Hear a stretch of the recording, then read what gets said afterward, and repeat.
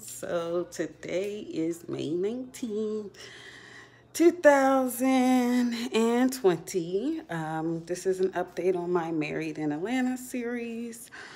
I am currently in Orlando, Florida on vacation with me and the kids. Um, not with my husband. I have not actually been with my husband since my last update. Um, I have talked to him, we have communicated, but we're not actually together. Um, trying to see where we're going to go from here.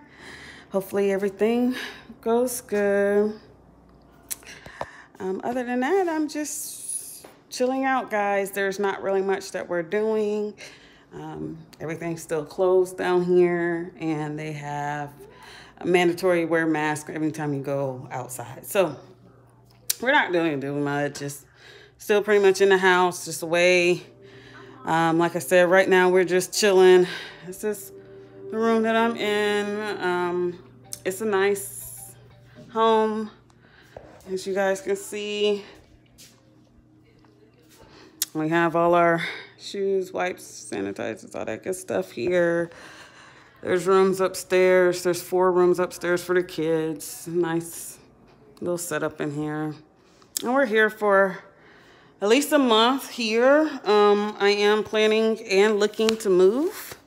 Maybe here. Um, also maybe Tennessee. Depending on weather and, of course, job situation. Um, I should start training down here actually on June 1st for Walgreens um, at the call center down here in Orlando. Uh, oh, I wanted to update you all also about the EIDL.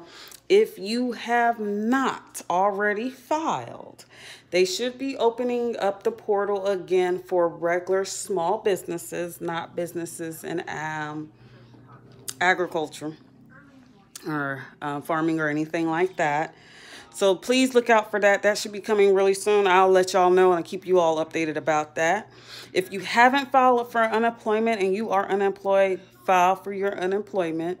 Even if you don't qualify for the regular unemployment, you still will qualify for the pandemic assistance program, which is also through unemployment or Department of Labor.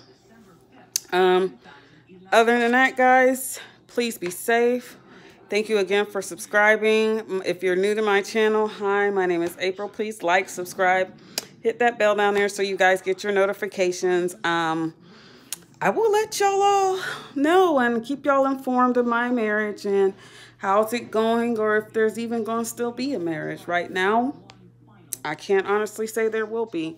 Um, this is a